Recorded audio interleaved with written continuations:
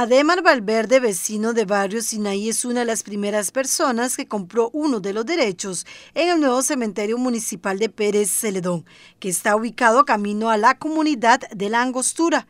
El municipio sacó en una primera etapa 300 derechos y cada uno tiene cuatro nichos.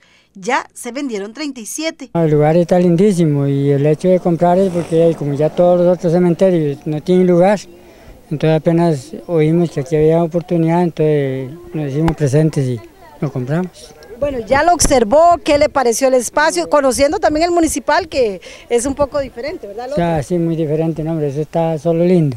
Precisamente este nuevo espacio fue inaugurado este 7 de diciembre.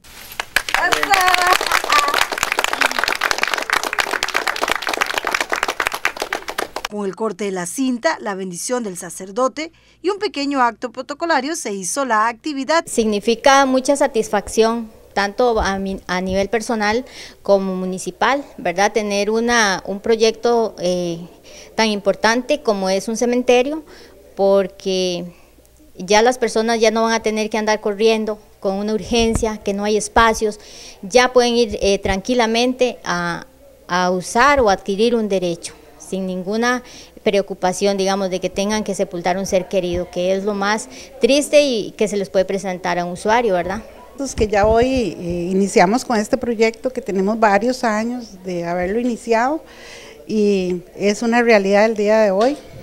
De hecho, ya se han vendido varios derechos, todavía no lo hemos estrenado, pero esa es, esa es la ilusión de todos, ¿verdad? Poder ofrecerle a todos los generaleños y a toda la población del cantón eh, un lugar donde ya puedan donde tener descanso los familiares. Esta ampliación se hizo por el colapso que se tuvo en el central, por lo que se comenzó a trabajar en el tema. Estamos inaugurando este terreno que es la ampliación del servicio del cementerio, porque ya el del centro está colapsado, ¿verdad? Como todos sabemos, desde hace muchos años, y ya es una realidad que tenemos este nuevo terreno abierto. ¿Qué contempló la primera etapa de este proyecto? Esta, eh, bueno, ya este cementerio va en etapas, ¿verdad? La primera etapa se hicieron las construcciones, edificaciones, la capilla, la oficina y esta tapia frontal. La segunda eh, fue el adoquinado y la porción para hacer ya las boveditas.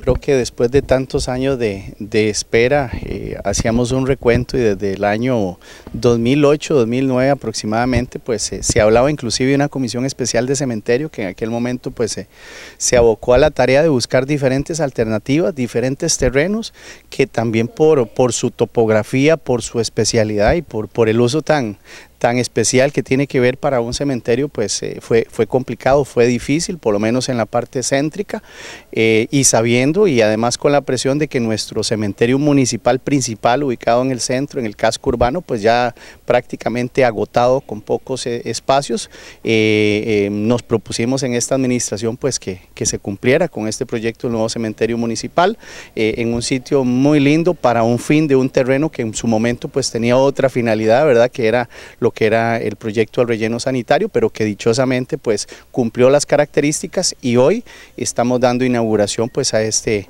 a este nuevo cementerio municipal disponible para todos pues los ciudadanos del cantón de Pérez Celedón.